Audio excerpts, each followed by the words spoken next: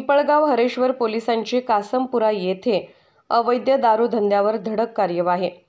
Pimpalgaon Hareshwar police station अंतर्गत येणाऱ्या कासमपुरा येथील बळीराम हटकर यांच्या शेताच्या बांधालगत असलेल्या नाल्यात गावठी दारूचे कच्चे रसायन चारशे पन्नास लिटर नवसागर गुळ असे सत्तावीस हजार रुपये किमतीचे मिळून आले असून पिंपळगाव हरेश्वर पोलीस स्टेशनचे फिर्यादी पोलीस कॉन्स्टेबल बक्कल नंबर तेरा एक्केचाळीस अभिजित दिलीप निकम यांच्या फिर्यादीवरून कायदा कलम पासष्ट फनुसार गुन्हा दाखल झाला असून अवैध दारू पाडणारे रेकॉर्डवरील गुन्हेगार गार असल्याची दबकी आवाजात चर्चा आहे.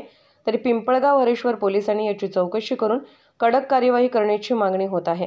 कासमपुरा येथे झालेल्या धडक कार्यामुळे महिला व सुज्ञ नागरिकांकडून पिंपळगाव हरेश्वर पोलिसांचे कौतुक केले जात आहे. सहाय्यक पोलीस निरीक्षक महेशजी वाघमारे यांच्या मार्गदर्शनाखाली police head constable Arvind More Shailesh Chavan तपास करत आहेत. एबी न्यूज मराठीसाठी चंदू खरे जळगाव पाचोरा.